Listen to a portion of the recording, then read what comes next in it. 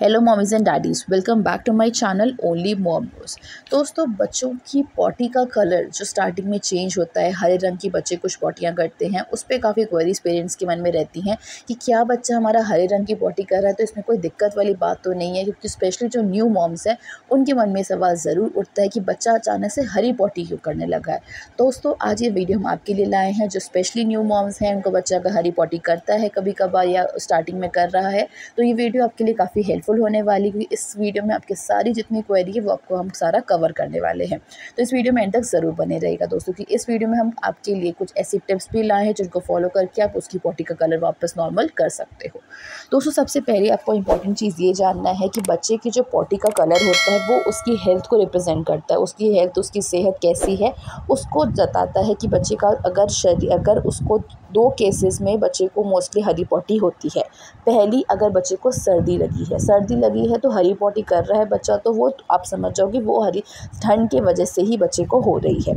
दूसरा केस होता है कि बच्चे को अगर आपने किसी तरीके की एंटीबायोटिक दवाई दी है या बच्चे को किसी भी कोई खाने से एलर्जी हुई है तो उस केसेस में भी बच्चा हरी पॉटी करता है। दोस्तों, ये थी दो चीज़ जिस केस में बच्चा मोस्टली हरी पॉटी कर रहा है तो बिल्कुल नॉर्मल है।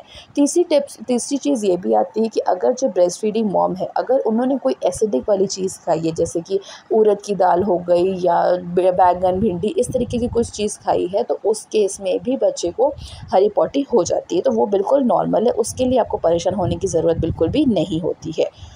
बच्चा अगर नॉर्मल ब्रेस्ट फ़ीड लेता है तो उस केस में बच्चे की पॉटी का कलर पीला या हल्का भूरा, हल्का से थोड़ा सा डार्क पे ग्रीनिश कलर में ये तीन कलर्स होते हैं जो मोस्टली बच्चा अगर ब्रेस्ट फ़ीड कर रहा है तो पॉटी करता है, जो बिल्कुल नॉर्मल है। आपको किस केस में डॉक्टर से कंसल्ट करना चाहिए, किस केस में दोस्तों ये हरी पॉटी बिल्कुल नॉर्मल नहीं होती है तो वो इस वीडियो में एंड में बताएँगे। पहले आप ये जान लीजिए कि अगर ये पॉटी हो रही है तो आपको क्या होम रेमेडीज़ फॉलो करनी है, घर बैठे आप कैसे ठीक कर सकते हो उस दिक्कत को। तो सबसे पहला आपको देना है बच्चे को केला। केला बच्चों की जो पॉटी है, अगर वो पतली हो रही है तो उसको नॉर्मल करता है एंड कलर भी नॉर्मल आ जाता है बच्चे का। तो आपको बनाना देना है उनकी डाइट में। आप उनको छाछ या दही दे सकते हो, उससे भी पेट ठंडक रखता है तो पॉटी सही से हो जाती है।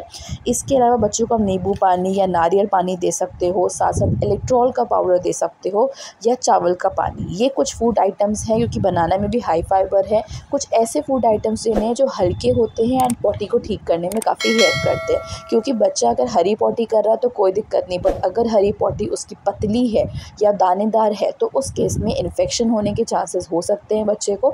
तो आप ये डाइट डेफिनेटली फॉलो कर सकते हो, इससे भी आपको रिज़ल्ट देखने को मिलेगा। बट इन केस अगर दोस्तों, ये खाना का जो जो हमने आपको साथ शेयर की है, नारियल पानी इलेक्ट्रॉल पाउडर इसके बाद ही बच्चे को हरी पॉटी ही हो रही है, दानेदार या पतली पॉटी हो रही, बच्चा सुस्त हो रहा है तो आपको डेफिनेटली डॉक्टर से कंसल्ट करना चाहिए, बच्चे को उस केस में कोई ना कोई इन्फेक्शन हुआ है, जिसकी वजह से बच्चे को ये हरी पॉटी हो रही है।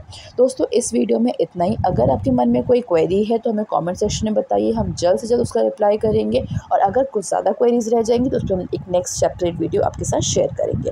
दोस्तों, अगर आपको कोई और टॉपिक पर वीडियो चाहिए तो हमें कॉमेंट सेक्शन में बताइए, ताकि हम पेरेंट्स के साथ वो वीडियो शेयर कर सकें। Thank you so much watching this video दोस्तों।